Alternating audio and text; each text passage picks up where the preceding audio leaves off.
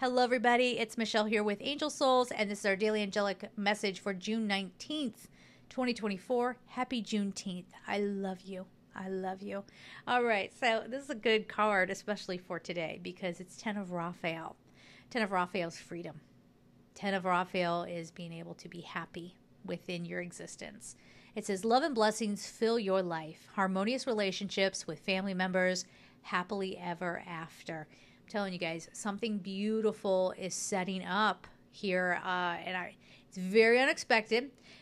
I can't. You guys know I don't usually do the whole uh, romantic reading thing because one, I think it's just overkill on the internet, and you know, doing general love readings, I believe it's very difficult. You can listen. It's not difficult to do the reading. I could do one of those but it's love is too nuanced for each individual and and what they're supposed to be learning on their soul's contract through those relationships right?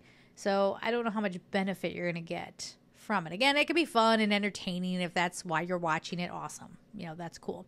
But if you're looking for a love question that that's in my opinion better done through a one on one reading, whether it's with me or someone else, it doesn't matter. Just make sure that they are ethical and that they care about you before they start. They're, they do not just care about the money you're giving them, but they care about you. Okay. So the Ten of Raphael could, generically speaking, talk about love connections, but I think this is just um, a deep feeling of fulfillment.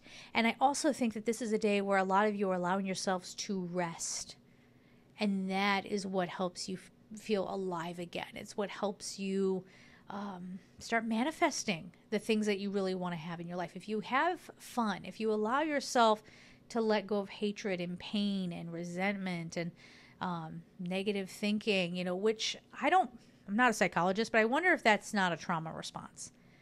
Because I know I've done that much of my life where it's like doom thinking I know that person's going to hurt me. What's the point of getting into a relationship? It's just going to end. I know. Dang. but, but yeah, that's how I've done it. Or someone makes one mistake. This might be me being so much Scorpio and a Cancer moon, maybe. Um, but it's like, oh, you wounded me. I'll never forget. You know, and then after that, I'm like, no, you showed me that you could be an a hole. So I know it's in your DNA and I know it's going to come back. right? So this would be an opportunity for us to to check that a little bit and just try to grow through it. And like I just admitted to the internet, I'm in the same boat. So anyway, we're going to leave it there before I get myself into more trouble. I am sending you all so much love and take care.